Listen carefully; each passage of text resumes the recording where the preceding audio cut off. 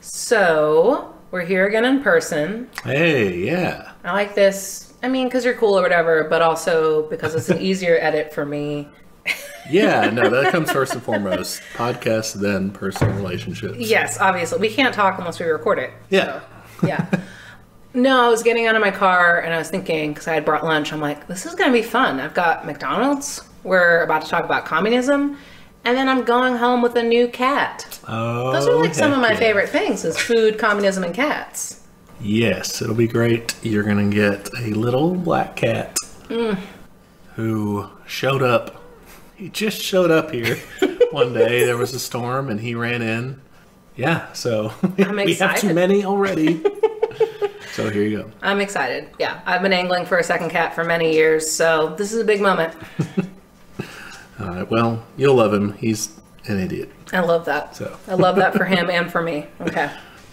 Cool. All right. Before I get this cat, though, I have to. This is my reward for for being a good student. Is I get a cat, right? Uh, yeah, so you have to be a good student or else we're taking him to the shelter. Fuck. Okay. Li- high pressure. I better take notes. Yeah. Uh, all right. Let's do it. Today we're going to learn about the Spanish Civil War. Okay. This guy. This fucking guy. Yeah, do you remember which episode it was we talked about this before, like number wise? I know it was the Goldman episode, Yeah. So that's episode 14. We talked about Emma Goldman. the early days. The early days, yeah, I had to scroll back way further than I thought. We've mentioned it in other ones too, though. Um, Yes. Can we start with me telling you what I know, which is almost nothing? Sure, yeah. Here's what I know. All right. I know a lot of cool art came out of it. like in my art appreciation class, we talked about it, and like there's this mm-hmm. guy who like went around and did etchings of all the violence, and like that's how people got the news about it, and it was crazy. Oh, cool. I mean, obviously Picasso's Guernica mm-hmm. was about that, and yeah, that's basically all I know. That's it's not a lot. Yeah, all right. And, oh, Hemingway, he was Hemingway there. was there. All the writers were like, "This seems cool," which It was, yeah. I would not do, but okay. It was kind of a cause celeb, you know, Mm-hmm. sort of thing. All right, starting from scratch. All right, yeah, blank slate, fill it in. start with why learn about the Spanish Civil War. It's, you know, for one, a key event in the history of the anti fascist, the anarchist, socialist, the communist movements worldwide. Cool. It's also kind of a prelude to, some people call it kind of a dress rehearsal for World War II, Okay, yeah. Because it happens from 1936 to 1939. And obviously, there's going to be some lessons, once we get into it, some lessons to learn for the left Yeah. as far as what went on there. And also, this history is barely taught at all in the United States. Yeah, right? yeah, I mean, clearly.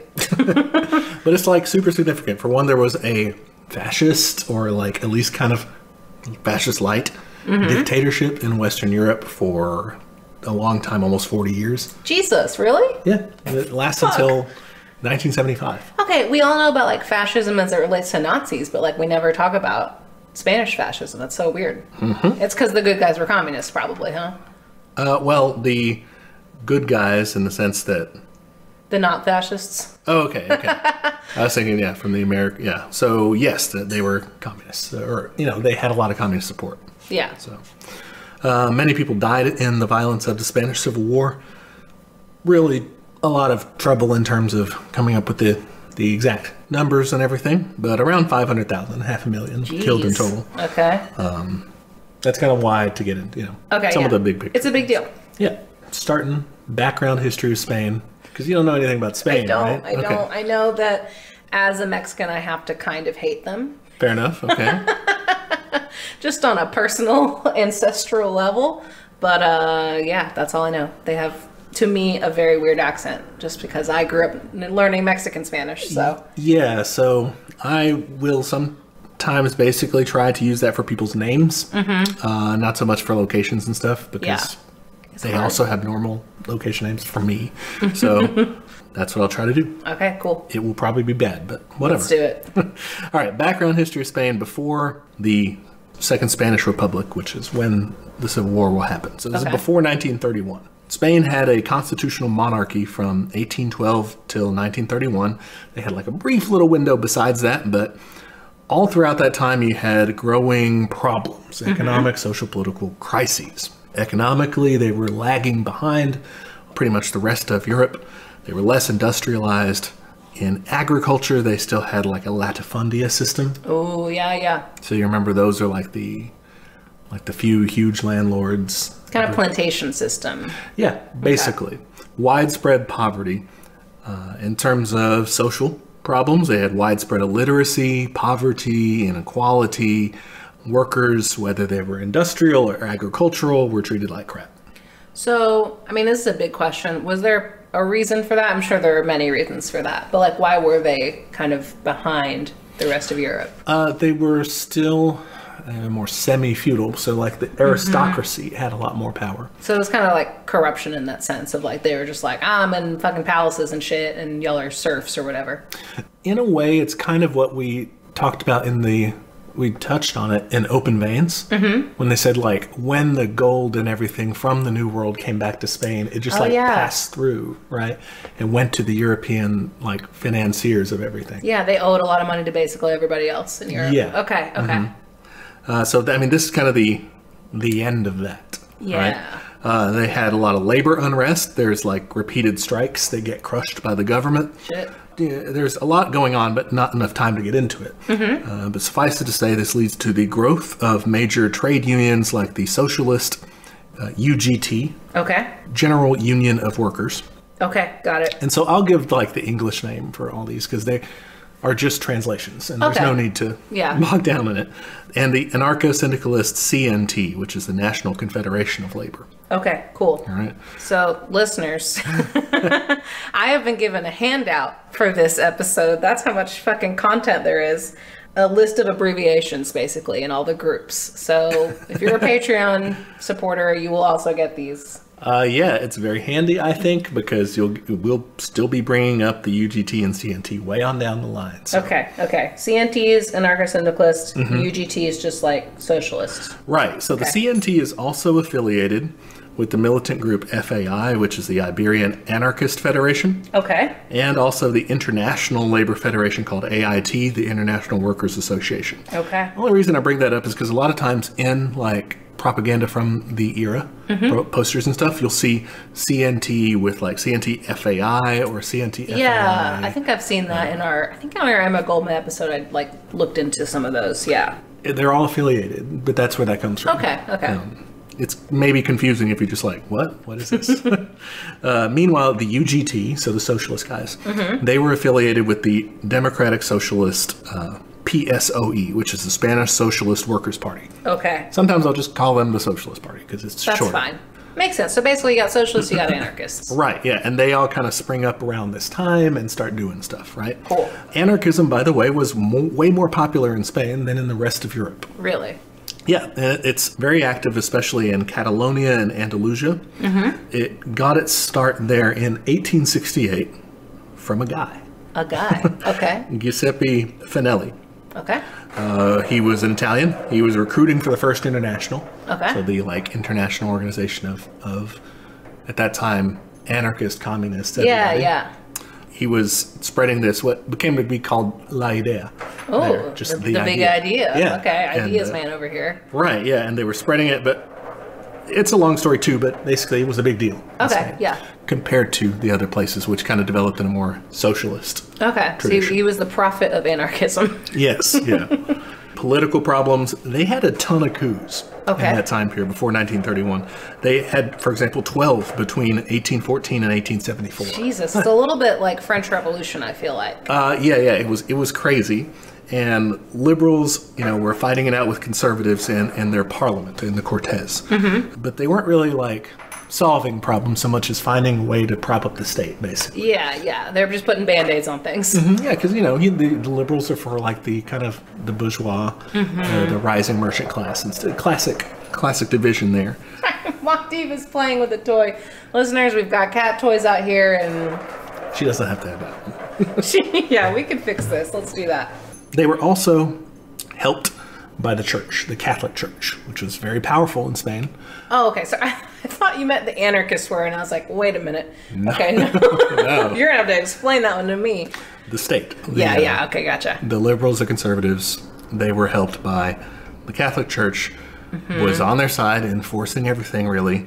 and this kind of spurs a feeling of anti-clericalism. Yeah, yeah. Right? It's a big current in revolutionary tendencies in Spain and throughout Latin America, really. Yeah, I was about to say that. That's a super common thing. And uh, that's really interesting to me because you do have like religious socialist movements, but like it's interesting that they're common adversaries as well. Yeah. hmm Spain was also losing its empire. Uh, it lost Cuba, Puerto Rico, and Guam and the Philippines in 1898, the Spanish American War, and it was fighting desperately to keep a hold of Morocco in 1920 uh, through 1926. That was called the Rif War. So, Oh no, baby lost his toys. yeah, it was kind of falling apart in that way. and all this to say is basically old monarchical Spain was bad. It was having some problems. And uh, its last monarch before the Republic was a guy named King Alfonso XIII, Okay. And he was not very good. Okay. Great. Not a good candidate for the new cat's name. Got it. Uh, no, yeah. he was bad at like prosecuting the Rif War. And in 1923, I mean, this got so bad, people thought, oh, we're going to lose this, that the army did a coup against him, or against his government, not against him. Okay. Uh, they did a coup and put in place a dictatorship Ooh. under a guy named Miguel Primo de Rivera. Okay. And this is so it's like in parliament, like he was a dictator in parliament, but like the king was still in charge and he supported it. He was like, go ahead, dude, like, Okay. save us. Yeah. And they were able to win that war with French help and keep things together for a bit. But eventually, that guy was also bad, messed mm. stuff up, and got run out. Okay. And by this point, everybody's like, dude, Alfonso, like, you supported this asshole, you know. This sucks. and so, like, the left wing, the right wing, no, everyone hates Everyone hates at this okay. point. And, and they declare, they have an election where, like, liberals and socialists and stuff, like, everyone on the left kind of wins a majority enough. Republican ideas win. And so they said, well, we're going to have a republic. They Mm-hmm. Declare the Second Spanish Republic in 1931. And the military tells Alfonso, you need to go. See you later. Yeah, And okay. he leaves.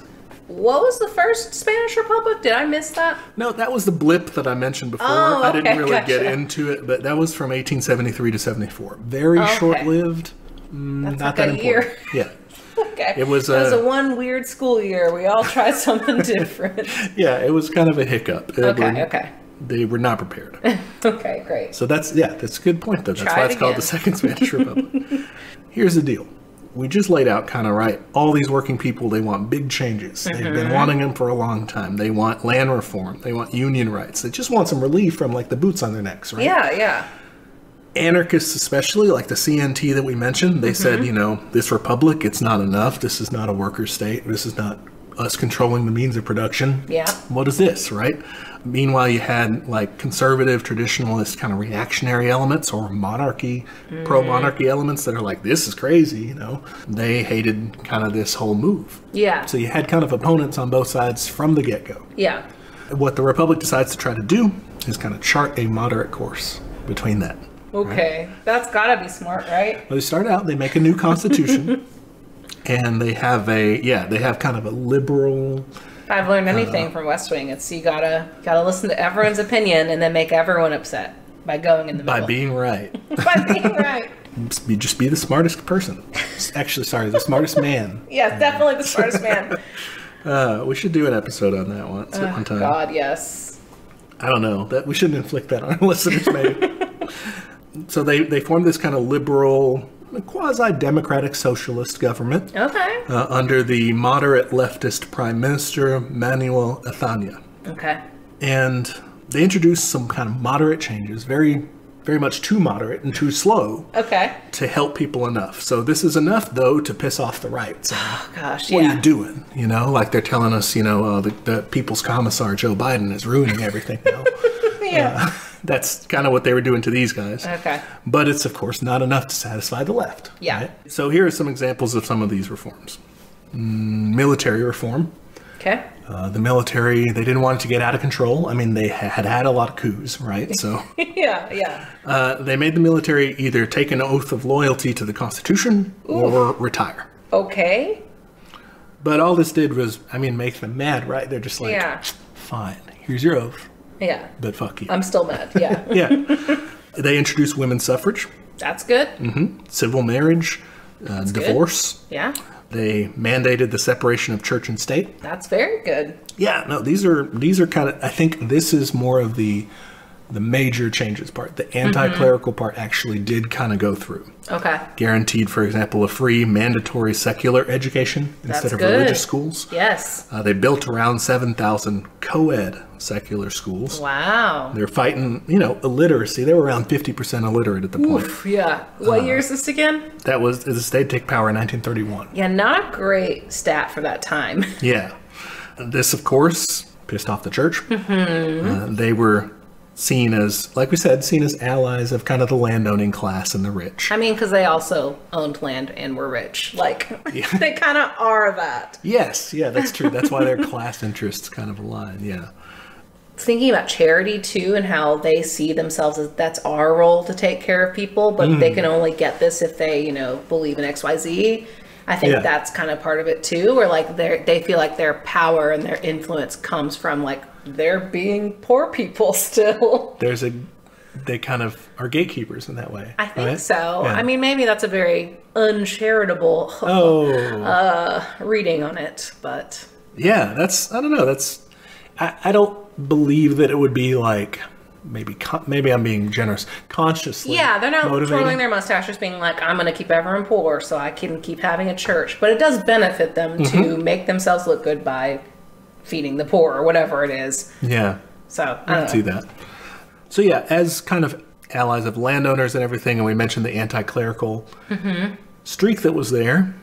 When the republic takes power, there is also kind of a, a outbreak of anti-clerical violence. Ooh, okay. All right, so What are we doing to they these priests, well they start burning down convents and as one does. killing people. Okay. Uh, the cops kind of stand back and let it happen. Oof. Okay. The minister of war at the time, and then later on prime minister, says, "quote All the churches in Spain are not worth one Republican life."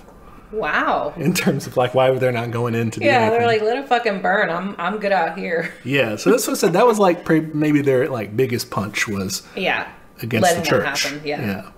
Land reform, very moderate, very slow about land reform. Okay. The right still thought that it was insane. you know? Yeah, that's like their least favorite word. Yeah. I mean, you hear that, and it's coup time, you know. Oh yeah. Uh, but it wasn't nearly enough for the peasants. They were like barely getting anything from the government. A lot of them started doing land reform on their own. nice. Love Just it. started occupying and expropriating land from large landowners. Oh, that's the dream. It was, I mean, it was a desperate situation. They, uh, 70% of the land was owned by 2% of the people. Jesus Christ. So they needed something and they Yeah. started doing it, you know, and that's in the more rural areas and stuff, of course. Yeah, yeah, where they can kind of get away with it. Yeah.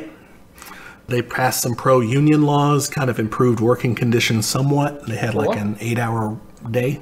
Great. Uh, and they had the support of the UGT labor union, the socialist one. Yeah. They did not have the support of the CNT. They were like, this is a state, you This guys is suck. bullshit. Yeah. They also allowed for home rule for regions like Catalonia.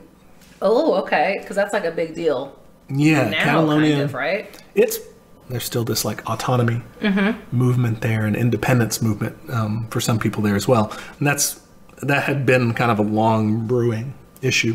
Yeah. Catalonia at the time was more prosperous and more industrialized than the rest of Spain, and they you know wanted more autonomy and just kind of do their own thing. Yeah. Uh, the CNT kind of had most of its roots, its origins were there. Its main power base was there.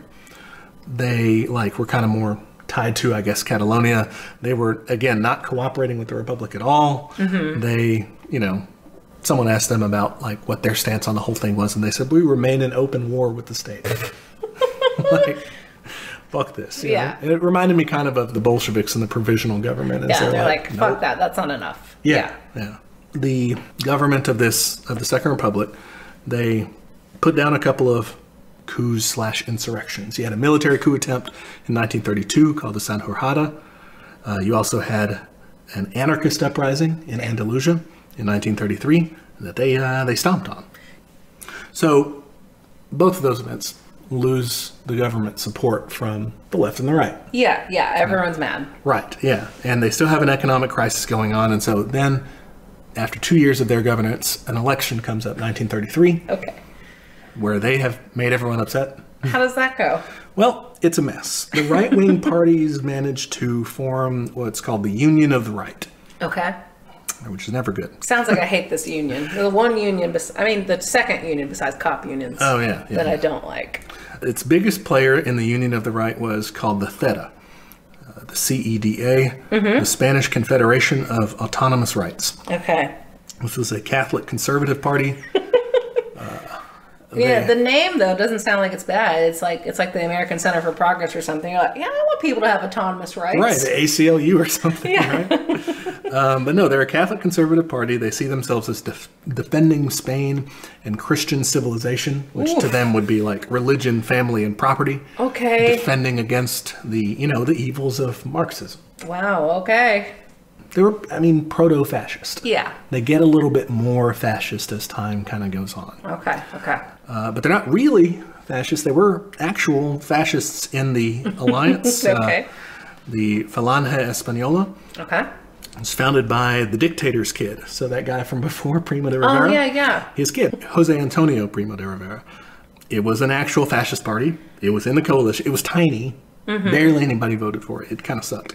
It was so bad that like it ends up merging with some other ones to become the FE de las JONS, Okay. which is has a long, complicated name. It'll come into play later, though. So they like evolve, but they're fascists, Okay. actual ones. The CEDA, they're just kind of close. Yeah, yeah. They're not great. Conservative. Yeah. Whatever. Meanwhile, you have a united right. Great. You have a divided left. Oh no. we Uh, always do this. Right, yeah. So at the time, the Communist Party, the PCE, the Communist Party of Spain, Mm-hmm. insignificantly small. It's like barely anybody there. Damn it. Uh, the PSOE, who we mentioned before, the Socialists, Yes. they were really the only major left party participating. Okay. Because, I mean, we mentioned the anarchists. Yeah, they're time? they're not probably not playing. No. They thought the election was bullshit. Yeah. They said, don't vote. As anarchists do. They said if, if the if the right wing wins, we're going to overthrow the government. So No don't big vote. deal. Just stay home. Get ready. Go buy a gun instead. Basically, yes, they were. That's what they. That was their strategy. Wow. And so the right wing won. Mm-hmm. All right, and uh, The one time you could actually blame like the left for staying home.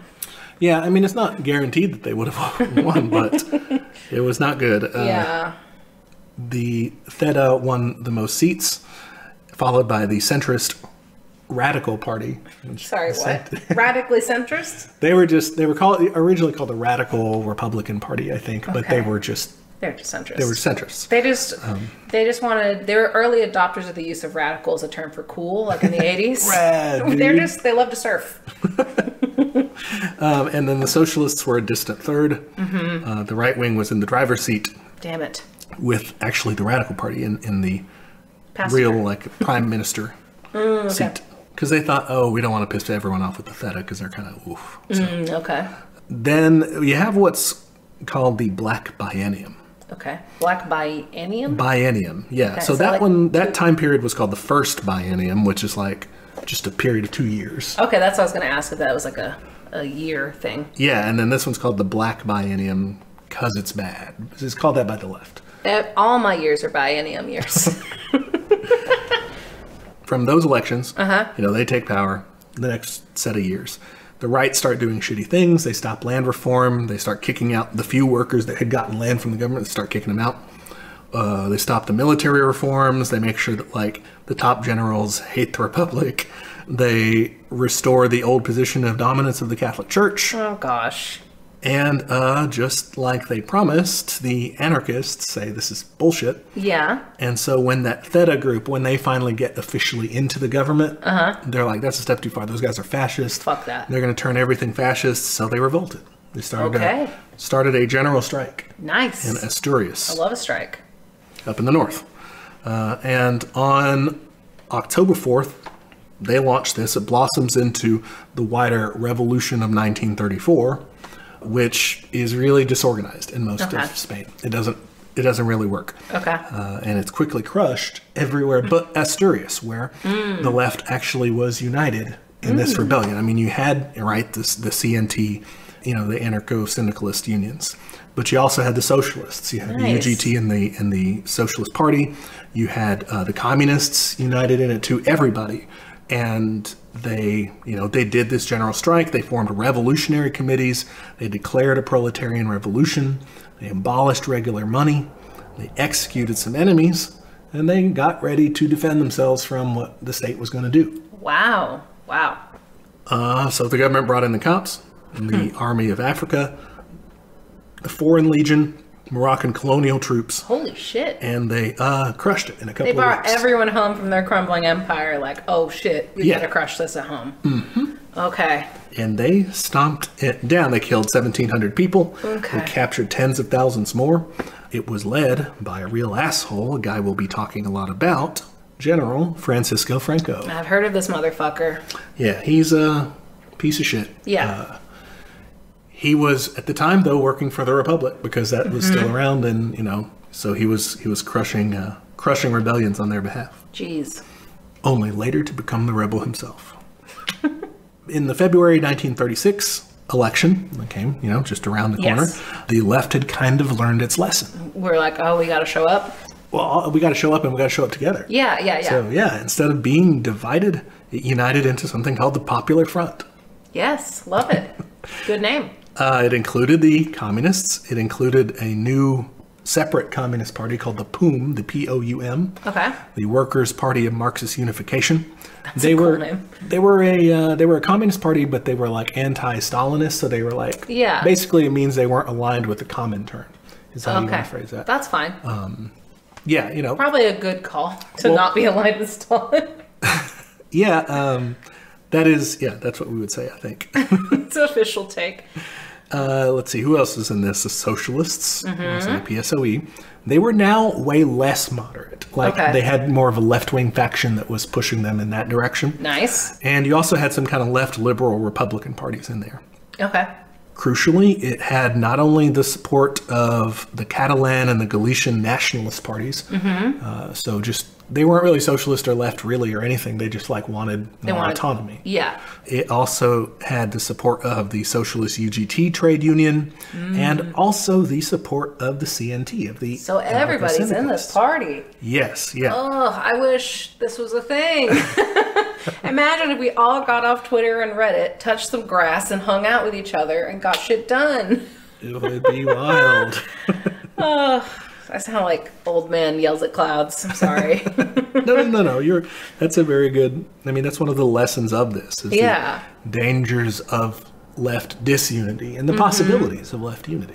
Yeah, and and that's it's a frustrating thing. Like I've seen it in our own like in our own like small podcast community here. Like people be like, "Oh, like you're you weren't this enough, you weren't this enough." And I'm just like, I mean, I'm kind of okay with that. like I I'm I'm pretty open. We're cafeteria leftists here, Yeah. which has its faults too, but like at this point where it's so scattered, I think you kind of have to take it. Like um Yeah. so this is a weird analogy maybe, but I was talking to this gay couple in my neighborhood. She was telling me about this book where someone went across the country to different uh, towns. They started in like big cities. They started in like New York, San Francisco. There was another one, and they went to like the gay neighborhoods there. Okay. And then they started like traveling across like small town America or whatever, like Alabama, whatever. And they found that the gay communities in those smaller towns were more inclusive. And it's because it's like, well, there's not fucking many of us. So, like, we don't care. like, Yeah, come okay. in. Because, like, if you think about like a stereotypical gay neighborhood, like in a big city like in Dallas, like uptown is very white, very male, very like gay culture Uh-huh. in that way, but it leaves out a lot of other part of the like the LGBTQ plus spectrum. You know, like it's often said like LGBT, like the T gets left behind a lot, like in legislation and stuff. Mm. Okay. But when you have like these smaller communities, it's like we gotta fucking take everyone that comes in here. I don't care what yeah. you are. Okay, that makes sense. It's a broader fight because of the situation. Yeah, yeah. I think that was the idea with the Popular Front too. You're like faced with fascism. you know? yeah, it's like I don't fucking care if like what book you like. We gotta fight fascism. Yeah, you know. Yeah, so the so the CNT was involved. Mm-hmm. They're not running candidates or anything. They don't believe in that. But Yeah. they tell people go vote. At the very least, if you you know if you're still sitting there saying fuck this, fuck the state, Go vote and Sure. then go buy a gun. Yeah, well, because they were saying like get these guys in power Because at the very least, they're going to set our prisoners free when they get in there. Mm, nice. All right, okay. so do that, and then yeah, we'll then we'll do some revolution. we can still plan for revolution later. Uh, and so the showdown in the election is a close one in the popular vote, but not in terms of seats. The Popular Front wins a majority of seats, so they take the reins of government. okay. So we win. Nice. They immediately freed people from the prisons, and they started the reforms up again. Meanwhile, strikes and land expropriations broke out, and the right by this point was like, "This fucking sucks." You know, we lost this election. A lot of them start going over to the Falange Party, the the the fascists. Okay. Yeah. Yeah. the phalangists you The, also the small one, right? That was the. Yes, small yeah. one. because they're like these guys have been kind of anti-parliamentarian the whole time. They're real radicals, you know. Mm. Okay. So that's why they go to them. That party gets banned, and you start to see fighting between leftists and rightists raging in the streets throughout Spain. Ooh, Street okay. fights. The right wing and the military, of course, they were like, "This is fine, more reforms, right? This is okay." Mm-hmm. I guess we just have to, you know, rule of law. It's okay. For sure, yeah. Everything ended up fine. Franco was like, ah, that's fine. I'll just follow orders. And we now have a socialist utopia in Spain, right? That's Right. what happened. Ex- exactly wrong. Wait, yeah. this is a really short podcast this time. 30 minutes, we're done. No, so um, instead they started to almost openly start talking about Mm. uh, taking some action, Okay. some direct action, getting the goods, Getting the goods, but fascist. but in a bad way. Getting the yeah. beds. Getting the bads. uh, so the government, scared about this and hearing the general start to do all this sort of stuff, Mm. they sent that General Franco guy. He was like the youngest guy to become general. He had really quickly climbed through the ranks, Mm-hmm. so he was super popular. And they were like, "This guy's dangerous." They sent it. They basically exiled him to the Canary Islands. Okay. And he's kind of interesting. So he was Franco. He was born in 1892. Mm-hmm. He was a kid when Spain started losing its empire, and so he joins the army as a young man. Part of this new generation is being like steeped in this creepy legend of like or like mythology that like you guys are gonna be the saviors of Spain. Yeah, like it's a focus on like who we were, basically, like a reactionary kind of thing. Mm-hmm. Yeah, yeah. He sees himself as kind of this, and his you know class as kind of these bulwarks against the encroachments of Marxism, of international foreign influence. And There's also this like anti-Semitic angle to it, where they're like, Oh. there's just like Judeo-Bolshevik uh, conspiracy and Oh. stuff like that. Like it's weird. They're I weird. know Spain kicked out Jews like back in the day. In 1492. Oh yeah, Mm-hmm. that's that's the new verse to that rhyme. Yeah, uh, they did that. Yeah, it was very. It was a They have they have a history of that shit, basically. Yeah, yeah. Ideologically, Franco was basically a monarchist, like a, Mm-hmm. kind of a conservative. You know, he wanted to keep things the way they used to be, sort of in a way reactionary by this point. Yeah, yeah. Because they moved on. He wanted to put an end to the disorder, to the labor unrest, to the religious persecutions, mm-hmm. law and order, classic. He wanted to go back of- to an empire. yeah, yeah, And so in June 1936, he gets drawn into a coup mm. being plotted by a guy named General Emilio Mola, Okay. and also some other plotters were General Jose Sanjurjo, who had led that previous like one that got crushed. Okay. Yeah. That's why it was called the San Sanjurjada, and uh, General Manuel Goded. Okay. And they were like, "We're going to do a coup." All right. Foreign Bad Guys Club. They put it on the calendar, July 18. we're doing a coup. They all synced their their Google calendars. Yeah, I set, set, you know, some of them set just one reminder, some of them set a few. But they hit snooze maybe once. Like, hold on, I, I still need to put on my my fancy general outfit. yeah, so they plotted this coup. And it's interesting because you're like, what, what? I mean, you know, but Franco, he's not going to do very well with this coup. He's stuck in the Canary Islands. Yeah. How's that work? Well, uh, luckily for him, he just so happened to get a flight chartered to take him from there to Morocco so that he could lead the army of Africa in a coup. Okay. How did this happen? How did that happen? Very interesting Was it the United States? it was not the United States, but our very close friends over in England. Oh man, those guys. This is a ridiculous scheme, Okay. but it is true. There was a wealthy Spaniard named Luis Bolin, Okay. and he met with an English magazine editor, this fascist named Douglas Francis Jerrold. Okay. They just had lunch one day. and over lunch, they planned the whole thing. They got former British intelligence officer Hugh Pollard, which anybody in the intelligence community will be like, former. I, is- yeah, it wasn't official. it's like, kind of sketchy. okay. And yeah, I don't know. If you're a listener, if you're retired, you know, former If you're actually converted, somehow you found this show, please email us. That's very interesting. But my suspicion of former intelligence officers is always like, mm, you know. Yeah. Uh, Hugh Pollard, he got his friend Cecil Bebb to take them on a plane paid for by Boland, this very, like, I've heard him described as the richest man in Spain at the time. Mm, okay. He charted, you know, he paid for this plane for them to fly over. They got like a couple of girls to take with them to pretend they were tourists. Uh, and they flew to the Canary Islands. They picked up Franco and they took him to Morocco. Holy shit. This is like if, I don't know, Steve Bannon or something, some right wing journalist, like, Yeah. plotted an escape. From, that's so insane. Like, that's insane. Yeah, it got him there basically uh, on the 19th, basically in time to take part in the coup instead of like waiting months later, Yeah. you know.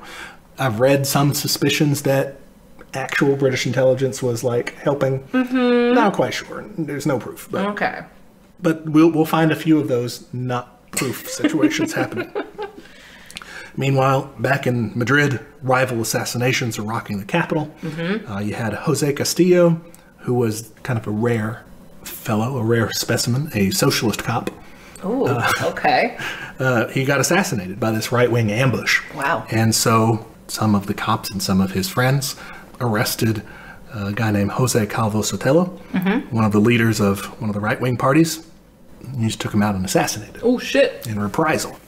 And so fighting breaks out at their dueling funerals. Yeah. And it kind of like galvanizes both sides for what's to come. They're like, Yeah, fuck, fuck you, this." you did this. you Yeah. know? The government really wasn't responding to the threat of a coup. They're like, what? We exiled that guy. It'll be fine. You're fine. Don't worry. the left, like the socialists, the anarchists, it was just like, please, like, give the people weapons so we Mm-hmm. can defend against this. When the army inevitably rises up, what's about to, Yeah, right? yeah. And they're like, nah, dude, we don't, we don't, we don't need to do that. That's that's chaos. You guys are fighting in the streets. You Mm. can't handle it. You're not responsible enough. Blah blah blah. Okay. So they launched the coup. the government belatedly is like, oh fuck, oh, here you go, workers, you know. Um, and so this begins the Civil War. Wow. So yeah, I, I think the hesitance to arm the people. I mean, obviously that's fucked up, and then very obvious how a coup would be able to go off when you have a structure like the military, where like that is kind of just fascism boiled down into an organization. It's like Yeah. they're all about that hierarchy and knowing your place, law and order. discipline and especially these Mm-hmm. guys who have you know they're they're like imperialist too you know they're like- Exactly. That is their job is they- to enforce that. and they see themselves as someone apart from the government even though they Yes. to you know say the loyalty thing like it doesn't matter they they think they're different Yeah, because they're the ones out in the front lines or whatever. yeah the you know the true defenders of the empire i don't know it seems obvious and maybe it, i mean obviously it was to some people Yeah, the leftists like, were like uh. we can tell you know Yeah. the government just didn't want to and maybe couldn't deal with it Yeah, yeah. the Civil War began really because the coup only half succeeded. Okay. I mean, the yeah. coup's supposed to take over the government. Yeah, otherwise there would not be a civil war probably. Right, yeah.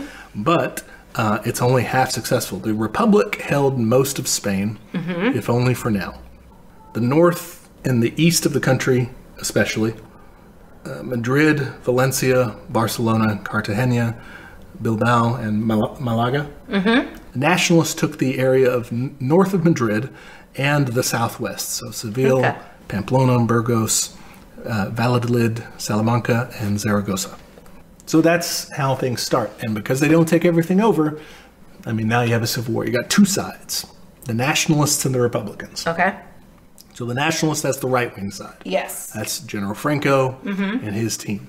They're led initially by several generals, but thanks to one guy getting executed, he was trying to do the rebellion in Barcelona. He gets Mm, captured yeah. and executed. And the other two having very convenient plane crashes Okay. that have never been proven to be connected to Franco, but that left Franco completely in charge of the Mm. national side. Okay. He was, you know, eventually just the sole leader there. Yeah. They kind of had a amalgam of monarchists, fascists, and just conservatives. Anyone who you can think of that was an asshole Yeah, basically. was in that category. The nationalists. Those were the rebels. Yeah, yeah. Uh, the Republicans were the left wing side, the government.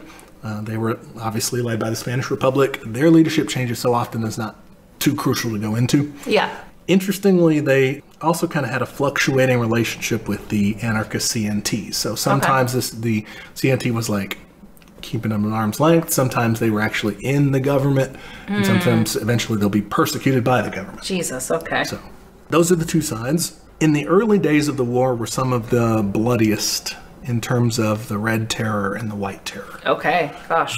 These this is where you know each side. So the Republicans doing the Red Terror Okay. and the Nationalists doing the White Terror. Yeah, I mean, nationalists love white terror, don't they? Yeah. Yeah, and this is exact, exactly the same naming convention you see in the like the Russian Civil War, mm-hmm. for example. The red and the white. Mm-hmm. I mean, you know, this is where they did some violence. They murdered their opponents. Okay. Estimates kind of vary about the death toll. It depends on how you count, who you ask, all these things. Leftists ended up killing anywhere from around 38 to 72,000 Okay. people. And nationalists end up killing around 160 to 200,000. Oof, okay. Okay. It's brutal on both sides. Both sides see it as necessary. One difference I would kind of point out is that the nationalists essentially kind of they, they, they coldly, methodically kind of plan and carry out a campaign of terror. Yeah, yeah. They are saying we're doing this to instill, to restore order in places that they were taking over. Mm-hmm. They dressed up a lot of their executions with show trials that were 15 minutes long. Uh, and just haul them all in. Yeah, you know, run through the legal formalities, haul them off. Franco actually set a like a like a cap on those and said that you can only find a maximum of one out of five of the people that go through these trials. You can only acquit one out of five. Whoa. I want people going into those trials and coming out dead. Wow. Yeah. What the fuck? So they're, you know, I, I think that they, they have a little more intentionality. Whereas on the red terror side, most of it was almost like mob violence, more like mm-hmm. people just kind of their angers, and it's not good, but you know, their angers mm-hmm. like, and a lot of times justified, boiling over and taking vengeance. So when you say mob violence, do you mean they're like It's not who like- are they who are they killing? Mm, large landowners, uh, clergymen, people who were known to have been supporting the previous nationalist regime. Okay, okay. uh, any you know opponents Yeah, anyone who yeah. was raising their head and, and saying something about it yeah. uh, that's bad in a way but i think it was like unsanctioned yeah, yeah. It wasn't methodical in the way were the other ones like the fascists I'm maybe I'm like picturing this wrong, but I you were saying that Spain is like at the time was a little bit rural. Were they just like going around to like people's houses and shit too, or were they just like was this more city based or I don't know? so it was both you, you had a lot of times rely on like the local groups there so when Mm-hmm. you rolled into town whichever side you were on republican or nationalist you probably had some sympathizers in that town Yeah. And so if you were now in charge, those guys were like, a lot of times you just arrest anybody who was suspected of being on the other side. Yeah. And then the local people would go back and pick through and say, this guy, this guy, This, guy, sucks. This guy's Yeah. cool. Interesting. Okay. That's I mean that's fucked up. Uh, yeah, yeah. Either way, it's hell on earth. Yeah, like you for said, sure. fucked up. Steady execution, so steady in some places that the uh, more entrepreneurial sorts set up uh, snack bars in the public squares to watch the executions. Whoa. So, yeah, Wow. Gotta have quite the stomach for that. yeah. Let's not leave anyone else out though. Let's get everybody involved. Some international involvement here. Okay, who's on our teams? Well, first, who's not on our teams? Oh, okay, yeah. 27 nations signed on to a non-intervention agreement in 1936. Okay. They said we're not going to aid either side in the mm. Civil War, right? This included an economic embargo, and it was organized by Britain and France. Okay. Okay. Some other signatories to this were the Soviet Union, Italy, and Germany. Okay. Uh, why didn't the Soviet Union help out? That's usually their thing. Well, we'll get to that. Okay. This is just them agreeing not to. Okay, okay. The United States didn't sign on, but independently had a policy of non-intervention. Yeah. I think here that non-intervention ends up being kind of tacit support for the nationalists because they're better supplied. Oh. Like they have more shit. They have like a better equipped army because they, They mostly came from the army. yeah. Uh, they you know, also were secretly getting support from people. So, like, if you actually complied with this, Mm-hmm. you were getting duped. Yeah. Like, because, okay, some signatories to that. For example, the organizers of it, Britain, they let Franco build a base in Gibraltar, one of their colonies. Great. They let the Germans fly planes over it. They ratted out Republican shipping routes to the nationalists. What the fuck? They're, you know, Yeah, they were- the creators. they were helping. Yeah. All right, France. France actually did try to do non-intervention because they were scared that like they would have, you know, internal strife of their own because I mean, of their right. domestic They're right politics. fucking there too. yeah, yeah. Their air minister, however, kind of sympathetic to the Republican side, ended up secretly selling warplanes to them. oh okay. All right. So yeah, people were cheating. Yes, the, the U.S., for example, ours was very informal. Uh, they, we banned arms sales to both sides, but businesses could still supply other things. Ford and GM, for example, sold 12,000 trucks to the Nationalists. Oof. Okay. And the Nationalists spent a million dollars a month on tires, cars, and machine tools from the USA. Oh wow. Okay. And Texaco, all right, the Texas Oil Company back then, uh, broke their supply contract with the Republicans. They had already signed this contract, and they turned that tanker over and went to the nationalist port Oh. and, and didn't sell it to them, lent it to them on credit What because the the, nationalists didn't have any money for it. What the fuck, Texaco? I mean, I already knew you were bad, but that's a that's just outwardly mask off bad. Don't worry, they got a fine of like a few tens of thousands of dollars, and they, They learned their lesson. Right? No, well, they they continued the whole thing till the end of the war. so, Oh my god. so that's non-intervention for you. Yeah, didn't work out. some other members of our crew here for the nationalists. Obviously, the fascists are going to be supporting them, right? So they Yeah. had support from Mussolini's Italy, another signatory to the to the non-intervention. uh, pact. uh, but instead, they sent fifty thousand troops. They sent Wow. guns, tanks, planes, artillery. Uh, Hitler's Germany also said we're not going to intervene, but they But they directly totally did. did, yeah. It's, for example, Nazi planes that took Franco's army of Africa from, you know, where he had done the coup, Mm-hmm. took them to mainland Spain Wow. to spread the rebellion in the early days. So they were really crucial. Yeah, yeah, in for there. sure. Nazi planes that teamed up with Italian ones to bomb the city of Guernica Fuck. in 1937, killed hundreds of people there. Yeah. German soldiers trained some 50,000 nationalist soldiers by the end of the war. They sent around 16,000 troops and also sent tanks. A dear friend of the show, the Vatican, was also a fan of this. Wow. Yeah, they, obviously, you know, so surprised they didn't send any troops. All right. Mm-hmm. Yeah. They're been a while since- Jesus troops. they had they had the Knights of the Templar just on standby this whole Show up time. in like medieval armor. Uh, but no, no, no. They were they were totally cool with their bishops like writing a letter to Catholics worldwide, Mm-hmm. defending the conflict as a crusade against the godless communists. Oh my god. But okay, Catholic Church, if you look up one day and you're on the same side as the Nazis, maybe not a good look. Uh, yeah, well, that's you know one of the things about Jesus. rat lines and stuff in World War II. The Vatican connection there. Ooh. Uh, they were also one of the first countries to recognize the nationalists uh, as like the government there. Wow. And they, they also had help from Portugal, which was also kind of a quasi-fascist uh, Mm, yeah. country. So right next door, friendly port, Mm-hmm. good for them. For the Republicans, all right, Who was their friends? for the Republicans, they had something called one big group that they had was the International Brigades. Okay. All right. The fascists, the nationalists, kind of had their own like smattering of volunteers. Yeah. But the international brigades was much larger. This was for the Republican side. Yeah. All right. And this was organized by the Comintern, the Communist International. Oh, okay. There we go. It's in September 36, so a few months into the war. They are drawn from all over. There's around 59,000 of them. There's also like 3,000 or so fighting in other militias there, Mm-hmm. not in the international brigades. Okay. So George Orwell is an example of those guys. Yeah. He fought with a militia in, with the POUM, the independent Marxist party there. Interesting. Uh, the CNT also had international volunteers. There was also an anarchist column called the Durruti column Okay. that also took international volunteers. But yeah, the international brigades are kind of cool. I, I picked a few of like well-known Yeah. uh, battalions to talk about. Uh, we and from the United States, you had the Abraham Lincoln Battalion. okay. Weird name uh, for that, but sure. Well, we had a few actually. So the Abraham Lincoln Battalion is the best known one. We also had the George Washington Battalion and the John Brown Battery. Ooh, I want to be in the John Brown one. That one sounds cool. the interesting thing about these guys is later on, they are they were discouraged initially, mm-hmm. you know, and they even threatened that they would pull citizenship from people who went, but they didn't. Okay. But they these guys, a lot of these guys did face blacklist stuff when the Red mm-hmm. Scare happened later Mm, that makes sense.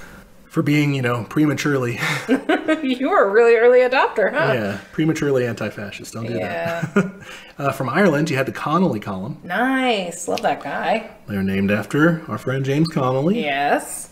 And uh, from Germany, you had the Thälmann Battalion, named after German communist leader Ernst Thälmann, Okay. who was he was like the leader of their communist party. He had been so this is you know time of Hitler's Germany. Yeah. He had been thrown in a concentration camp. Oh shit. Okay. He ends up dying in a concentration camp later in World War II.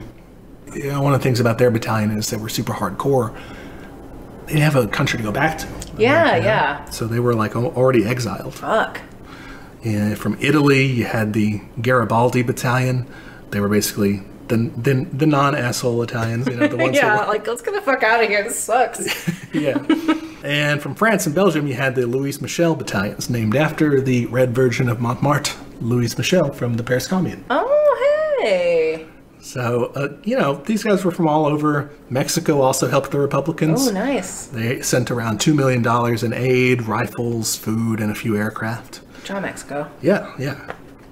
But the major ally for the Republicans was the Soviet Union. Yes. Okay. I was wondering if they're going to show up. Yep, here they are. They did take payment for their services. uh, they took around $750 million of the Spanish gold reserves. Ooh. They just Okay. put those on trains, took them out, I guess, to the docks, and then sent over. And they couldn't have had that much left because, like we said, they like owed a bunch of money to people. So They still had the gold reserves. Yeah, they had that, though. so they took that. great. But they sent it, I mean, you know, they did that, and people say it's kind of an asshole move. Yeah, a little bit. Maybe it is. But I they mean, they like paid them back with like you know, way longer of survival. Mm-hmm. The, the rest of it is pretty much attributable to them at that point. Yeah. Okay. what year was this? This is in 1936 when So everything. they were probably struggling too. You know. oh yeah, they weren't. By that point, I guess Stalin had been in power for a little bit. I don't remember precisely, but they had been, you know, started industrializing and everything. Mm-hmm. and- but yeah, they're not like sitting on tons and tons of money. Yeah. Yeah.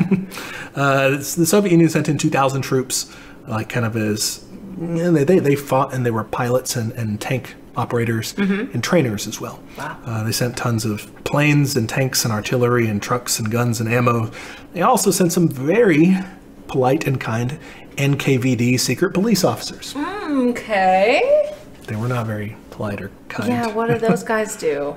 Uh, they were kind of enforcing the Moscow line there. So just making sure that no one did anything, you know, to plot with the fascists, whether real or imagined. Interesting. That's not great. No, they, they end up being pretty bad. Okay. Don't like that. But other than that, I mean, like I said, their aid is really why this isn't over in 1936. Yeah. you know? Yeah. For sure. All right, so those are that's kind of the international scene. Got the two sides, got their supporters. Then what happens? alongside this, in the opening months of the Civil War, the government, the middle class kind of liberal government, was kind of paralyzed. Basically, it was just like, what, right? They just hid under their desks, like, oh no. Essentially, it happens a little bit differently, you know, in terms of regions. Mm, Catalonia, Aragon, Andalusia, Valencia being the center of it. Mm-hmm. But essentially, the common people throughout throughout those regions, mm-hmm. through the CNT and the UGT, those labor unions, they take power for themselves. Ooh. Right, It's called the Spanish Revolution of 1936. Okay. Wait, so we're still in the Civil War and then mm-hmm. there's also a revolution. Okay. Yeah. Messy. So this is more of like a social revolution. happening, Yeah, yeah. right? They're like, fuck, the government didn't do anything. There's massacres. Let me do something. Yes. Okay. Yeah. And so they take power for themselves. It's a workers' commune, a dictatorship of the proletariat, if you Ooh, will. delicious. At this point, they're like the only real defense against the nationalists. Yeah. And this is the opening months. The international brigades don't show up till September, so a little while later. Okay. Right. And that aid from other countries is still kind of like starting to come in. So this is really all they have. Yeah. In general, people arm themselves. The CNT and the UGT did a general strike. Mm-hmm. People took to the streets, you know, anarcho syndicalist style. Yeah. And they uh, took weapons from the state weapons depots Oh, wow. Okay. and uh, set about controlling their own society. They organized militias to go out to the front to defend their territory. They started collectivizing agriculture Wow. and industry. They, yeah, they implemented libertarian socialism pretty much Damn, all over the place. Doing the damn thing. Okay. Yeah. That's pretty Yeah. cool. It's radical. They take over factories and hotels and stores and farms, whatever. Bosses start fleeing to France. Some of them don't make it. The particularly bad ones, I imagine, they end up getting murdered. Whoops. Uh, They change workplace conditions. They run them more safely, more efficiently. Like productivity goes up by like 50%. Whoa. um, Take that, capitalists. Yeah. and uh, what bosses that were still there, right? The bosses that remained took orders from workers' committees. So they were no longer so much the boss, it's Hell just like yeah. the Just kind of a manager. manager. Yeah. And uh, they also, you know, created pension systems and stuff Cool. for their employment. So, yeah, radical changes going on. The unions supplied food wherever it was needed. They were also bartering or using time vouchers issued by local committees. We love a time voucher around here. Yeah, I like. I, I imagine who was it, Josiah Warren or somebody Yeah, would be proud of that. they exchanged goods for food with the villages nearby, so the cities would, you know, trade with the villages for food. Cool. Um, they repurposed these fancy, glittering hotels as free hospitals. Fuck yes. Uh, there was free healthcare. They also used like the bottom floors of them for cheap, popular cafeterias nice. Uh, instead of you know the fancy hotel restaurants and all that. oh, this sounds good. I mean, besides the whole death part, this Uh, sounds good. yeah. the rest of it, I love. this they opened up and they demolished a lot of prisons. Wow. We're like, fuck that, we're not doing that anymore. Fuck yes. So yeah, they're really doing it. They also looted and burned some churches. Also executed some opponents. Okay, okay. Room for improvement, but you know, you probably had to do that shit. That's what they would say. Also, at, at this point, the government was like, "Oh my God, these guys are uh, holy shit! Uh, do you guys want like a seat in the government? Like, please, like, Can you please stop burning Yes, you things know, and like come do this like as a job instead? They just gave him the finger. They were like, "No." No, we're Uh. doing all right. Think I got this. So yeah, and you know, people look back and say, "Oh, well, you know, what could they have done if they had taken power?" Well, it's it's kind of a question, I guess, on the anarchist left. Is Hmm. Yeah. was that a mistake? I don't know. I don't know if at that point it really was. I don't know because at that point they were just kind of scrambling to survive. That like I worry if they gotten into a power it would have become much more bureaucratic in a way that maybe wouldn't have been helpful. Yeah, But I don't know. I mean, Because on the other side, No it could be idea. It could lead to a more unified resistance against. that's true. Yeah, it could have so- it could have gotten more organized. We'll talk a little bit more about that Okay. as time goes on. In terms of this social revolution, there was a major role for women. Tell me about these cool ladies. Well, Spain, you know, incredibly patriarchal before that. Mm-hmm. Uh, lower pay, worse literacy, which was already bad, but worse than that. I mean, do we um, need to point out the connection with that in the church? You know, Well- I apparently did. confined to the domestic sphere, and there was yeah this religious dominance. Yeah. So yeah, major improvements in the Spanish Revolution were made in terms of liberating women. Hell yeah. And this was not just like, gee, we should fix things for women. They have it bad. This was achieved by women themselves, Fuck yes. especially by members of the CNT who formed a group called Mujeres Libres, Nice. Free women. Yeah. I want a shirt of that. Mujeres Libres. Yeah, that'd be cool. This was founded by Lucia Sanchez San- Saornil, Amparo Poch y Gascon, and Mercedes Comaposada. Okay. It was in April 1936, and they advocated for ending the triple enslavement of mm. women to illiteracy, capital, and men. Oh, yes. Isn't that cool? I want that as a sign outside my house. That's an awesome slogan. yeah. So they helped to legalize abortion on demand, Mm, delicious. organized women's militia training for the front.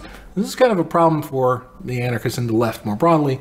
At the time, I guess they were coming from a very patriarchal society. So Yeah, yeah. the men were kind of like, what the fuck? get out of here, you know, we're just like making fun of them when they were Oh. training. So they're like, we're doing our own fucking training then. you know? Yeah, yeah. And- Interesting. They encourage women to enter the workforce to keep this whole thing going. Yeah. The anarchist regions generally uh, were opposed to marriage as a thing. Probably, yeah. I was watching this documentary that was talking about it, and they were saying like you know, people were coming to the unions and saying like, you know, my daughter, she's like living with this with this guy, but they're not like married, and they're just like, well, this is you know, we're revolutionaries. This is what we do. Yeah. Uh, but they were like, well, we don't want to piss everybody off, so they invented something called revolutionary weddings. Revolu- I want one of those, man. Well, it was just you would just show up, right, and you go to the like the the union, you Yeah. know, and they would they would just officiate basically. A union officiated wedding. That's hilarious. And it was so the way they do that, they give you, you know, they have you fill out a little form in triplicate and just have you do a little carbon copy, right? Yeah. You fill it out, and they're like, okay, so the union will keep this one, and then you mm-hmm. each keep this one. Bring these two back to us if you guys ever, you know, don't want to be married anymore. We'll take you the third one, and we'll burn them, and you'll That's be divorced. hilarious. So they like just you know legalized the divorce there. Yeah. real pretty easily. They kind of like informally discouraged it. The guy said basically like, Like the union guy would kind of bring the guy over and be like, "I don't want you to take this lightly. Don't come up, come to me with just some you know Yeah, nonsense stuff." Yeah, They'll recommend counseling first or yeah, whatever. I guess yeah. now that's a good red red wedding. Now this um, is not permanent. Yeah. eventually the republic uh, once it kind of reasserts more control it's trying to kind of show that it's reasonable and mm-hmm. show that it's kind of deserving of international help Okay. so they end up banning women from serving on the front and trying Oh, to ah, kind of fuck. pull back the reins we're not so crazy right? Yeah, yeah. Uh, of course you know the international community then comes galloping to their aid That's an insane requirement. Like, no I'm it just it does not though they, they don't even do that like they Oh, okay. They don't. Yeah, Okay. the Republic. Yeah, the Republic does these things. Please come help us. But Yeah. No, no help. it would be an insane requirement. I agree. It's just that It didn't, even, even work. work. Oh my god! So Yeah. there's no point to it. You just lost a lot of like cool soldiers, basically. Yeah. Wow. So from there, the war continues. And that's kind of going on alongside the war, but I just Mm-hmm. kind of wanted to sidebar for the revolution part. By September 1936, the nationalists had gained a lot of ground, Okay. and they were still on the move. Tons of advancement for the nationalists. The Republican government is in shambles Mm. by this point, and they appoint socialist Francisco Largo Caballero Okay. as their prime minister. And so when he takes power, he brings the communists into the government. So the Communist Party. Okay. Because like earlier, the anarchists said no. So like, let's try the communists. Right, the anarchists are still out. he enters in here. He had kind of like been standoffish before and had, you know, had been elected to parliament, but was not in the government. Okay. know. The reason he br- he's bringing the communists in, tiny party before, but their influence had been growing Mm-hmm. because of the aid from the Soviet Union. Yeah. Kind of went hand in hand. This Yeah. Comintern back party, obviously they're going to get more, get more of a say. Yes. So one of the Republic's goals by now was to get a grip, to reassert itself, to stop fucking up so bad. Yeah. right? Stop hiding under their desks. Yeah. Finally, by now they have the International Brigade showing up, but still, like by this, I mean, by November, their government had already fled to Valencia. So Yeah. like, it was, uh, Not great. yeah. One of the things that they thought they should do in that regard was to postpone the rest of the social revolution until the war was mm. over. No, I hate when we do this. They said it's more important to fight the fascists than to do social revolution that might antagonize the middle classes. We don't want them going over to Franco. I mean, was that a problem? It could, I mean, I don't know how much of a problem it was. You could see how, like, you might have more people trying to do collaboration sort of stuff that way, mm-hmm. or be less supportive of your movement. But on the other hand, I mean, the middle classes are not as numerous. Yeah, yeah. like you, in, you're giving up by saying yes to them. You're saying no to like peasants who are seeing a better life, and then are more likely to want to fight for you because they're like, "Fuck yeah, I'm defending this cool new life I have." Yeah, that's yeah, that's my thinking. Bad strategy. Well, you and the anarchists and the POUM, the P-O-U-M, the socialists, uh, the Marxists, I guess, disagreed with this with their strategy, right? Yep, yep. You said social revolution and the fight against fascism was the same thing. Yeah, for sure. That was their argument. But the government cuts off aid mm. to the CNT and to the POUM. They, they cut off aid and say, you guys are, you know, being bastards, basically. Don't, you know, you're not getting anything from us. You're not cooperating. Okay. So in November, it takes only like a month of that. The CNT says, okay, fine, we do need weapons. We're going to agree to join the government. Mm. So some of their leaders go join the government. This is very controversial Yeah, I'm sure. for the anarchists, right? They're like, That's usually not their thing. that's a state, dude. You just joined a state. Yeah. In their defense, it was one of the few ways that they could Keep going. get guns, get Yeah. supplies. yeah. They could take them. They could go that route. But you're really inviting an open civil Then war. it's like a three side war. Yeah. Yeah. I don't know. It's messed up at that point. They probably just shouldn't have withheld things from them. But Yeah, yeah. from their point of view, they would argue the anarchists were being unreasonable. Mm-hmm. Whether yeah, you could look at this multiple ways: the push for unity or the crackdown of dissent. You know, whichever way you want to look at it, it continues and it escalates from that point on. The republic starts centralizing more and more, taking control of the Catalan government and integrating the CNT and stuff, all those militias and everything, integrating them into the Republican army. Okay. So, uh, like, officializing them more, Yeah. training them more as a regular, disciplined army. Okay. They start banning newspapers that criticize them. They start disarming the people. Oof. I mean, you have a lot of people just running around with guns now, Yeah. kind of, you know, enforcing the popular will directly, Mm-hmm. and they start disarming them. And this leads us to the May Days, the May events, Okay. which is in May of 1937. Okay. May 3rd through May 8th. This is the one where we talked about it near the end of the Spanish War, where the or the Spanish Civil War, where the communists kind of do a little betrayal. Uh oh. Okay. All right. Uh, so by this point, the government, the Republican government, is dominated by the the communists, the PCE, Yeah. And they decide they are going to go after the POUM, the other communists that aren't with the Comintern. All right. Eh, They're also going after the CNT in Barcelona, the the anarcho-syndicalist union. Okay. It's kind of a culmination of the centralizing thing they've been doing. Uh, it's also a part of the wider trend that Stalin was doing in the USSR of his purges. Yeah. Honestly, he and the communist movement, and in particular, this government, may have thought that this was necessary. Mm, okay. Just to get everyone in the party line. Yeah. To me, it looks like an asshole move. Yeah, for sure. It's like this is frustrating because they just said, "Okay, we're we're trying to unify here." Mm-hmm. You can't unify if you're doing purchase. I mean, I guess you'll get everyone thinking the same thing, but you'll have fewer people to fight on your side. Yeah, yeah, it's I guess you'll be unified but smaller. right yeah i think that's that's the downside. So and one of the reasons i think this is messed up is because and we didn't do i didn't do the best job of researching this before.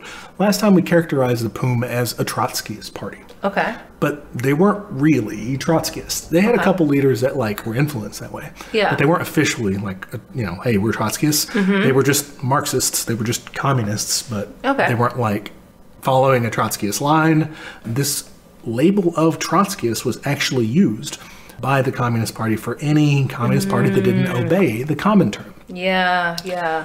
what they were doing at the time was claiming that Trotsky was not even really a communist; he was more of a fascist op. Oh my And gosh. so anyone accused of working with him was like, you know, in on it. They were part of the fascist what the fuck? How the secret thing. They were, you know, in this case, working with Franco. How? How does that make sense? They clearly are fighting Franco.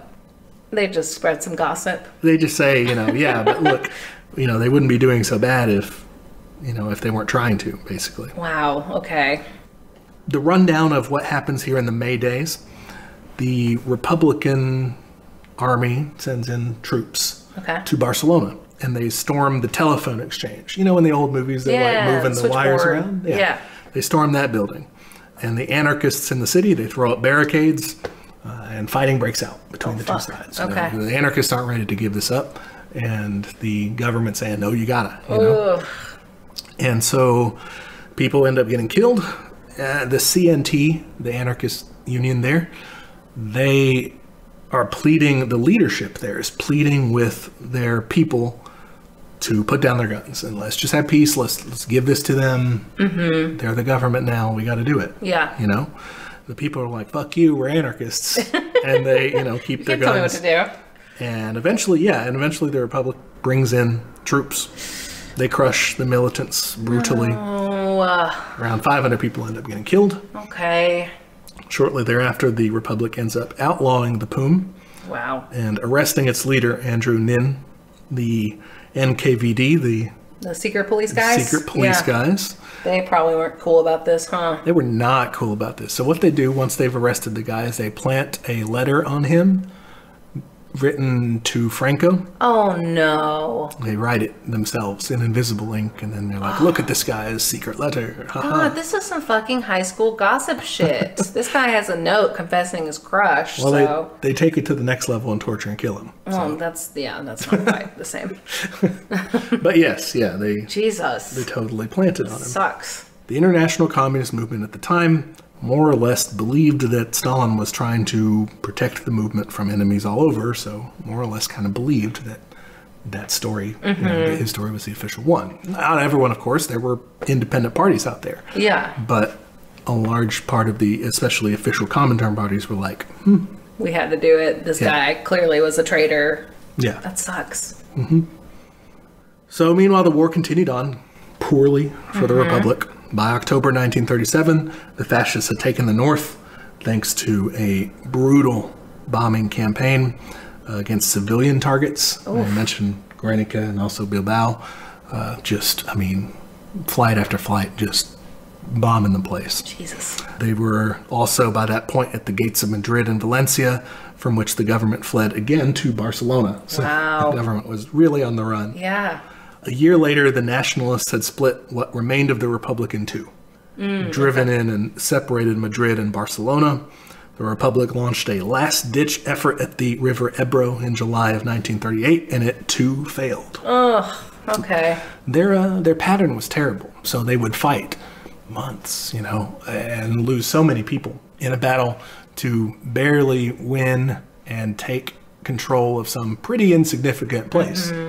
And then, like a month later, the Nationalists would roll in and take it in a week. Mm, because they were so, like, weak from the battle. Yeah. Jeez. So it was really a, a bloody war of attrition that the that the Republic was losing. yeah.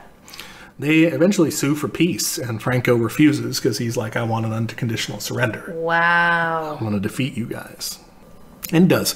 It takes him two months in 1939 to take Catalonia, and by that point, he's recognized by the UK and France as the rightful government of Spain. Wow.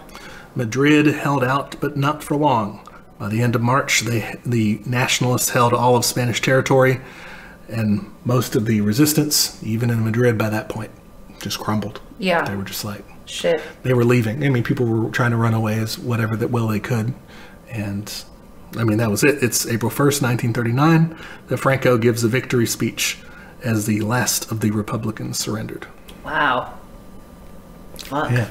And then that guy did some really bad shit, I imagine. Oh, starting on day one, they immediately went out rounding up and executing all the Republicans they could find. I mean, or at least lots of them. We don't know how many, but at least 30,000. Wow. They put a bunch of them in concentration camps also. A lot of people fled to France, uh, where they were also held in like internment camps there. Ooh. Those who couldn't find any relatives in France, like so, if you had someone living in France, you go live with them. Uh-huh. But otherwise, you were they ended up encouraging them to go back to Spain Oh, fuck. where they were just arrested by the government and put in concentration camps. Okay. The ones who did end up remaining in France, like the ones who said nah to that, but who didn't have any family in France, eventually the Nazis came in and conquered Yeah, yeah. France. so it's not like they had a great time there either. So a terrible time. Vichy France uh, deported these guys to Nazi Germany. Oh, fuck. They put around 5,000 Spaniards who died in the Mauthausen concentration camps oh, my God. Okay. in Germany. So, yeah. Okay, Terrible I thought fate. they were just going to get run out because France was about to get taken over, but no, they shipped them out. Yeah. That's so fucked. And that was the immediate aftermath.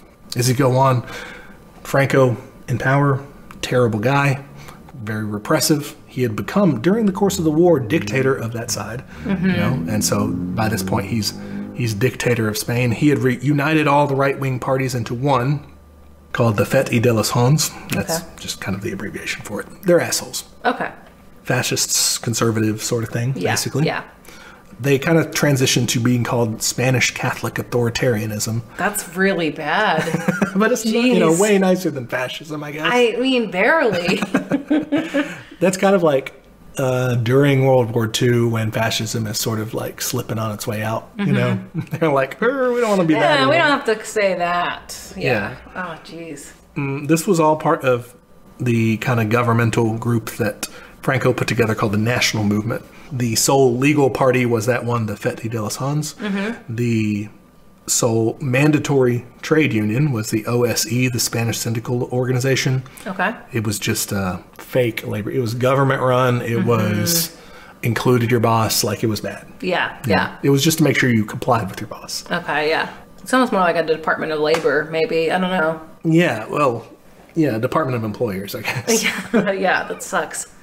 Everything else was banned, like all political parties, communist and anarchist organizations, trade unions like the CNT and the UGT. Those all went underground. Uh, everything. I mean, like languages, Catalan, Galician, Basque, they were suppressed. in legal documents and schools and ads and signs. And you can still speak it, but like, you know, officially, you couldn't use it. Civil servants all had to be Catholic. Oh, okay. They reestablished Catholicism as the official state church. Fuck. Um, Guys, this is 1940. You don't need those anymore. Well, they did. They uh, nullified civil marriages from the Republic. Wow. They outlawed divorce. Fuck. I've heard accounts of that they would sometimes uh, force women who had divorced their husbands before to go like back to live with them, Oh, fuck. to No. be remarried to them, basically. That's some Gilead shit right there. Yeah, probably inspirations. I don't know the Probably. I don't know the timeline on that. uh, they also outlawed contraceptives and abortion. Yeah, Yep. They also criminalized homosexuality and prostitution or sex work. Women, obviously, were put back in you know put back in their traditional patriarchal place of being told their place was in the family and motherhood. Uh, they couldn't even open bank accounts without their father or husband. Jesus. Okay, and I assume they lost suffrage as well. Uh, no, Oh. I think suffrage You can was keep kept. that. You can vote, but you can't do anything Well, you can else. vote for one party. I mean, Yeah, you can vote for one party. So, Oh God. uh, sure. sure, I guess. I think they did keep that though.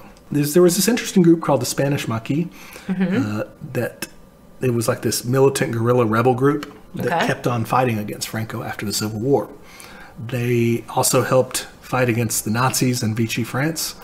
I don't know much about them. Like I didn't spend a lot of mm-hmm. time researching on them other than what they basically did. It might be interesting to research later. They look kind of cool, like on the surface. I mean, mm-hmm. fuck Franco, so Yeah. that was Fuck cool. Franco, fuck Nazis. So like, yeah, good start. Yeah, they hate the people I hate. yeah. They lasted from the end of the war till 1965, Oh, when they basically like gave up the fight Yeah. pretty much. Franco, only the good die young, remained dictator for life. Uh, he actually was made regent, like so. oh, okay. So he got what he wanted, huh? Well, it's like uh, in 1947 they brought back the monarchy, but they said Franco gets to choose the next king, and until then he's regent. Wow. Uh, so, That's insane. so yeah, dictator for life. Yeah, know? yeah. Um, he ended up choosing the son of King Alfonso. Remember before? Mm, yeah. Not the son, but his son, so Okay. his grandson, I guess. A fellow named Juan Carlos de Bourbon. Oh gosh, a bourbon. And yeah, mm, and that uh, is who kind of ended up succeeding him. He didn't Mm-hmm. choose his father, who was still alive, uh, because he thought that his father was too liberal. Yeah. like, "Oh, I'm going to pick this guy and gr- kind of groom him to not be so liberal. Ugh. But it turns out okay. Franco eventually finally fucking died on November 20th, 1975. Fuck yeah. Mark that on your calendars if you're looking for some extra excuse to celebrate. For real, yeah. Everyone crack one open on November or whatever. November 20th. There you Yeah. go. Actually, you know, I mean, people were celebrating when he had died. Uh, not everyone, because there were still like a lot of fans of his regime and I'm stuff. sure. But yeah, he died then, and then after that, Spain began a transition to democracy. Okay. It's a constitutional monarchy, but still, it's like, um, Yeah. you know, the leftist parties now are legal again. The trade unions are legal as well. It's more or less a liberal democracy now, because that guy that he named actually was cool with you know, Oh, okay. doing liberal democracy. He was like, "That's good." Kind of looked out there. Yeah, and they had a you know a series of prime ministers after him that kind of helped that Yeah. transition go more smoothly. wow. That is the Spanish Civil War. That's crazy. and its aftermath. Yeah. Okay. Is this our discussion time now? yeah, discussion time. Discussion time. Okay. So one thing I mean, we talked a lot already during this whole thing about like just the idea of unifying the left and like how that is such a big theme. I mean, basically in every fucking episode, but this one like really brought it home. And one of the most frustrating parts about this one was when they dropped the social revolution component. Yeah. And yeah, to me that goes hand in hand and it it reminds me a lot of like this is a super common trend in basically all revolutions, even like we've talked about the American Revolution, like they kind of like just scooted slavery to the side, scooted women's rights to the side, and was like, well, we're, we're going to do this first. And then, like, surprise, fucking surprise, it takes a long time to get to those things. Yeah. And in that case, it's more of like a coup than a revolution. It's, it's more of a rebellion than a revolution. Yeah, yeah. But I, I mean, I just see that as a common theme in almost any fight. Just the the stupidity of incrementalism of like, no, we've got to address this first, and then we'll get to your quote unquote special interest. And it's like they're all tied together. It's all holistic. Like that's why we've done episodes on like queer theory. Like it's it's holding up that system. So Yeah. like, might as well just fucking take it out. Yeah. Um, how? I don't know. I do not know, but it's it's frustrating when people present it as like a we have to focus on just one thing at a time. Like that is just Yeah. not how I roll. I think they think that because they're approaching it from a parliamentary, or, you know, kind of democratic stance of like, oh well, we're gonna not democratic, but yeah, parliamentary. Like they they they say, well, we got to get one thing passed, and then we'll do the next thing. And But they don't even do that. Like in bills, there's always like crazy writers and like it's always a package of things. So that's because it's things that they actually want to do. yeah, yeah, it's ridiculous. Um, no, no, no, no. I think when you're thinking outside of that box and you're thinking, well, what if we arm the people? What if we have, you know, a true workers' commune or dictatorship of the proletariat or what, however you want to call it, a libertarian commune? Because you know, uh, people want to say, oh, you're a, you know, Marxist-Leninist, you're a statist because you want a dictatorship or the proletariat. That was run by like the anarcho-syndicalists doing that. I mean, that was them arming the people and doing their revolutionary communes. Yeah. So, but if you take that approach and are like, okay, this is how it's going to be done, as long as you are in touch with the people and this is what the people want, it is better to just change it than to like piss off some of your base for not doing something.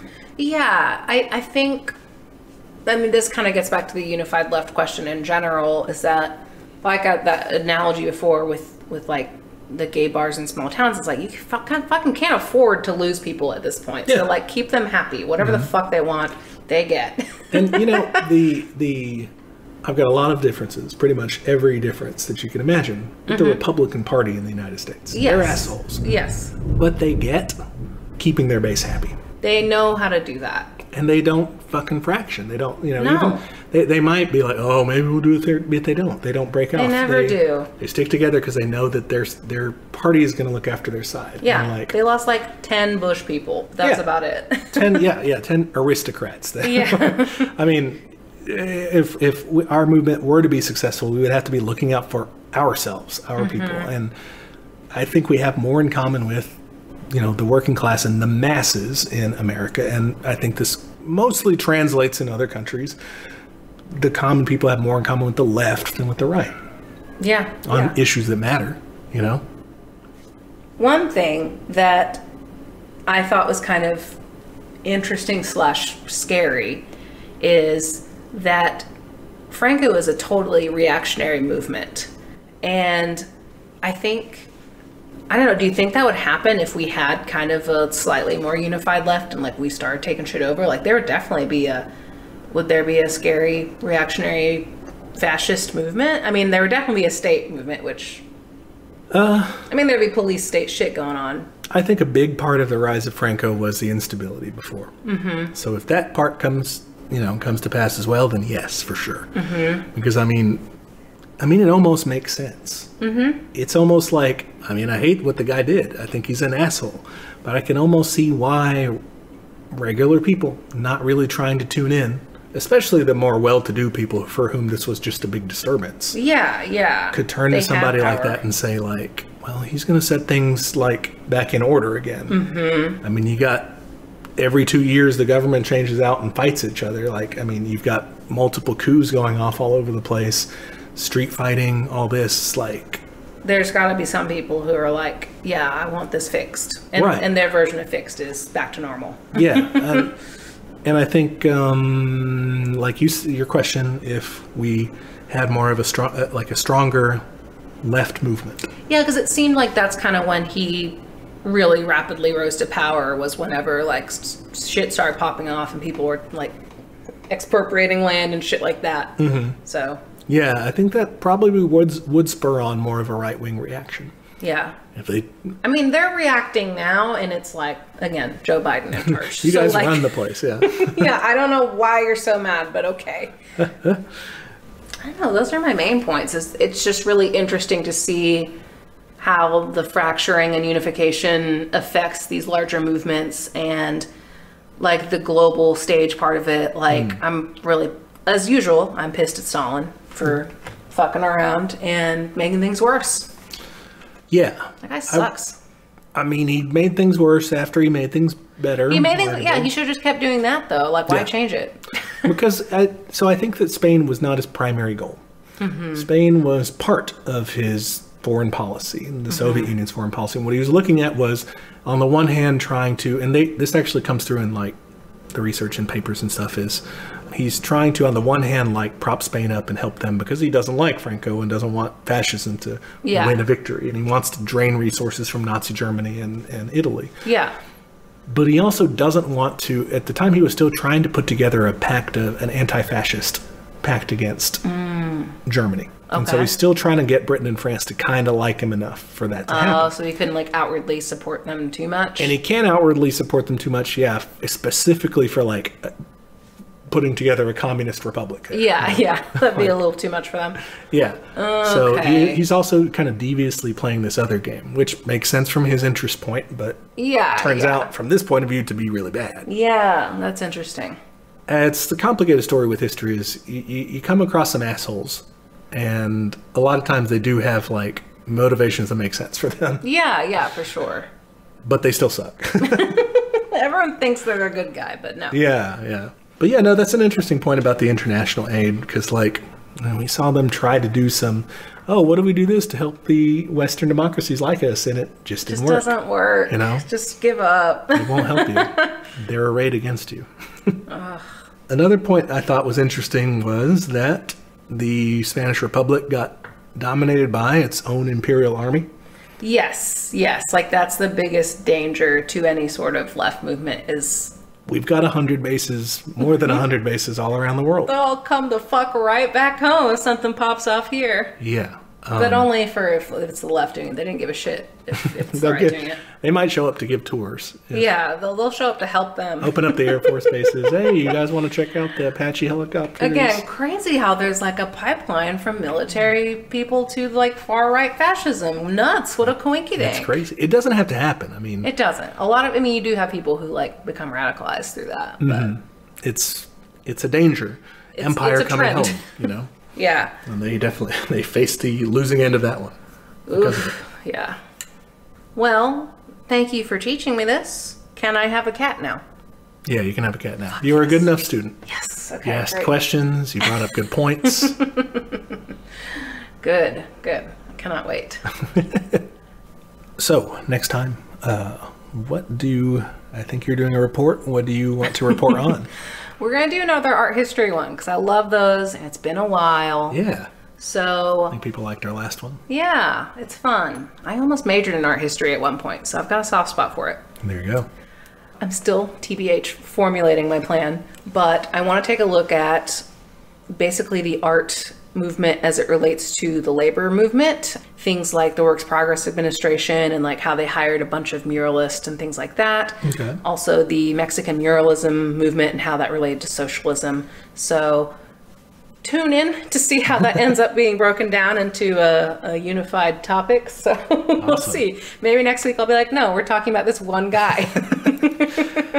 so, we'll find out. So yeah, that's what we think we're doing. Something with art. it's gonna be there's gonna be a pretty slideshow on on social. awesome. okay. So in the meantime, you can find us online. We are on Twitter at Teach Communism, Instagram at Teach Me Communism. You can send us an email, teachmecommunism at gmail.com. That's uh, where you can send us a question or a uh, suggestion for a future episode. And you should leave us a review on Apple Podcasts. That is a great way to help people find the show. Rate and review. I love it. Help, Yeah. help out our egos. Please, I need it. It's- about to be my birthday, so you fucking have to. it's my birthday month. We also have a YouTube if that's how you prefer to listen to podcasts, or if you know someone they're like, "What's a podcast? I only do YouTube." Then send Fair them enough. send them our shit. and we have Patreon, and for five bucks a month, you can get access to our notes. This time, you'll get Grady's notes. I have been seeing them out of the corner of my eye. They look very robust. Lots of links, lots of hot links for you, Yeah, yeah. If you're a fan of robustness and hot links, hot links. like sausages. yeah, just. then, uh, then yeah, these are the notes for you. Great. Uh, you also get access to our backlog, uh, which I reference all the time. It's a useful little document. Yeah, it is. And at the end of the year, we'll be donating the money from that to a local mutual aid fund. So, yeah, sign up for that. And I think that's it. I think that's it. Thanks for being a great student. Thanks. And thank you guys, you listeners out there, for all that you do. Tune in next week to another episode of Teach Me Communism, where the class struggle is always in session. Bye. Bye, y'all.